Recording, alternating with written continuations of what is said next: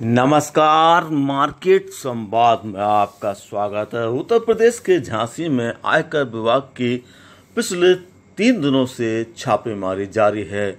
आठ बड़े कारोबारियों के यहाँ जो छापेमारी चल रही है, उसमें दो नाम अब चार्टेड अकाउंटेंट के बीच जुड़ गए हैं। जैसा कि आपको पता है कि चार्टर्ड अकाउंटेंट दिनेश सेट्टी के घर पर आयकर विभाग की टीम लगातार ठहरी हुई है, लेकिन वह फ़िलहाल वेदांता में जैसा कि पता चला है कि वेदांता में भर्ती हैं।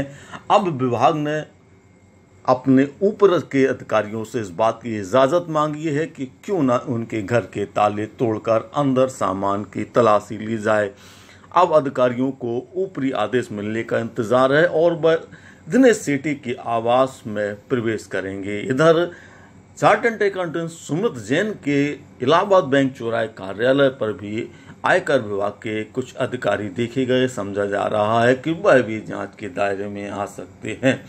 इधर एक और बड़ा खुलासा अभी जाँच में सामने आया है कि इन पूरे बड़े कारोबारियों के साथ झांसी के आठ बड़े चिकित्सकों के नाम भी अधिकारियों की जाँच के दौरान मिले हैं। कुछ ऐसे सबूत, कुछ ऐसे संकेत मिले हैं जिसमें यह साफ़ हुआ है कि झांसी के कई बड़े करीब आठ से ज़्यादा डॉक्टर छः से आठ के बीच डॉक्टर हैं, जिन्होंने अपना पैसा इन कारोबारियों के ज़रिए विभिन्न जगह पर लगाया हुआ है। जितने भी आठ बड़े कारोबारी हैं, जिनके खिलाफ आयकर विभाग जाँच कर रहा है, ये सभी लोग आपस में एक दूसरे से कनेक्ट बताए जा रहे हैं।